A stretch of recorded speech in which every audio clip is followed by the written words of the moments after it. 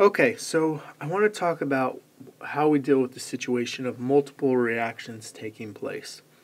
So I've written out here two reactions. These both reactions involve C2H6. C2H6 can react in this, according to these two reactions, two ways.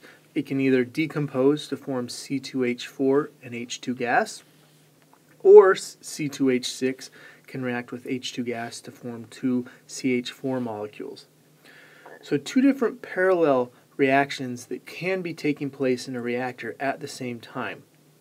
So some of our C2H6 may go this way, other C2H6 molecules may go this way.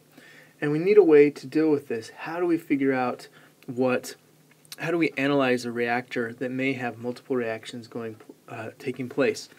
Well, we use the same concept of extent, but in this case we apply an extent or write out an extent for every single reaction.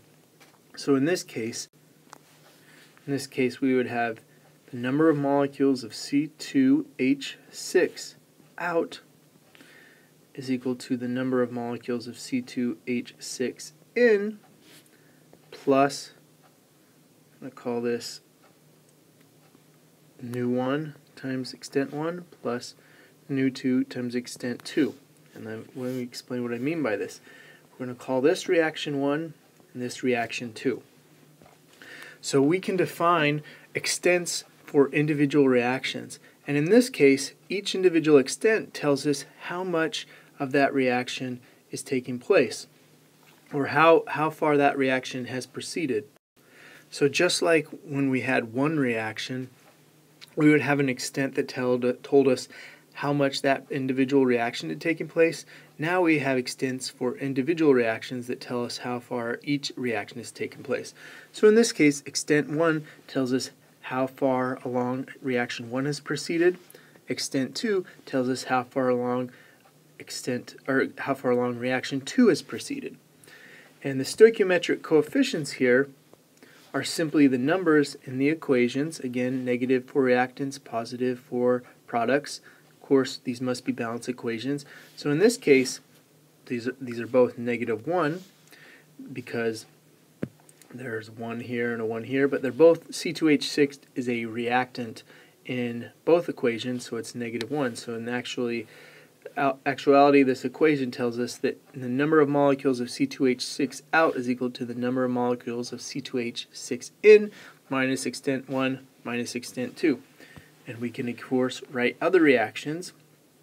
The number of molecules of C2H4 out is equal to the number of molecules of C2H4 in. And since it only comes into play in the first reaction, it's just simply adding in extent 1. There's no there's no C2H4 in the second reaction, so there's no extent that comes into play for this reaction, or for this uh, equation right here.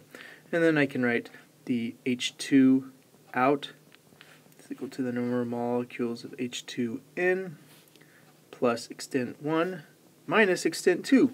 So in this case, we actually have hydrogen being produced by reaction 1, so it's plus the extent 1 right here, but it's being consumed in reaction 2, so it's minus extent 2 because it's consumed there.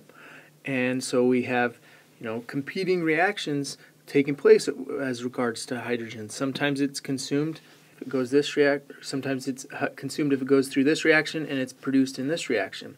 So we might have uh, different extents with different signs. And then finally, and CH4 is equal to, and that's out, equal NCH4 in plus 2 times extent 2. And again, because there's a 2 right there. And those are the equations that we set up. And it's just like how we deal with um, extent previously except we have two different uh, variables, extent that we have to worry about. But once we're able to identify what extent 1 and extent 2 are, we can apply them to all of these different reactions here to find out the outlet uh, amounts of the different uh, species. And it's the same type of analysis we did before with other, uh, just one, one type of, ex one extent with one reaction. Okay, there's two other concepts I want to go over as with regards to multiple reactions. First concept is selectivity. So the selectivity is basically, as it's defined here, the moles of the desired product divided by the moles of the undesired product. So oftentimes we may have multiple reactions taking place and we only want one reaction to take place and another reaction may be a, a side reaction that produces molecules we don't want.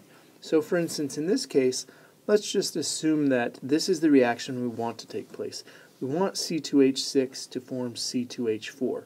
This is our desired product. We want to get, make C2H4.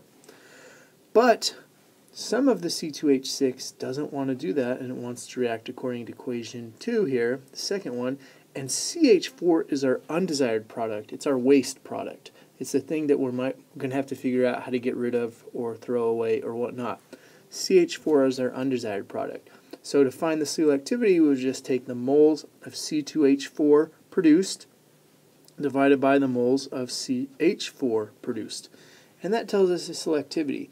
And selectivity, you know, it can be a small number, it can be a large number, um, but it just tells us the relative amounts to how much these reactions are taking place, especially how much of our desired product we're making in comparison to our undesired product.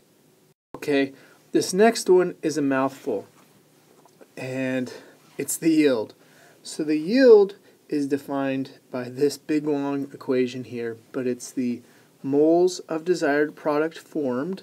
So in this case, for instance, if this was C2H4, how much of it formed, moles of desired product formed, divided by the moles that would form if there were no side reactions and the limiting reactant were completely consumed. And this whole thing should be multiplied by 100, just to make it a percentage. So what does this mean here? What is this big long thing here at the bottom? Well, it basically means what if this reaction up here took place without this side reaction taking place? If we were to just assume that the second reaction, let's just assume that the second reaction doesn't happen, and let's assume that this reaction right here goes completely um, to goes to completion, meaning all of the limiting reactant is 100% reacted away, zero limiting reactant left, how much moles would we form of our desired product? So again, we have to assume that the second reaction doesn't place, and we have to assume that our limited rea limiting reactant is completely consumed, disappears when it follows this reaction, and that's how we calculate this bottom part in our yield. And once we have that, then we can just plug in it to these equations. And again, the yield tells us what's our how much of our maximum a percent percentage of our maximum do we actually get. So if we get a yield of 50%, that would tell us we're reaching 50% of our maximum reaction amount. If we're getting a yield of 100%, that means we've reached all of our maximum amount that we could of our desired product, whether it's C2H4 or, or whatever for another reaction. So it's a useful metric to tell us are we re reaching our desired uh, production of our product that we want to sell or use or, or use or whatever. And so there we have it, our two new other concepts, selectivity and yield.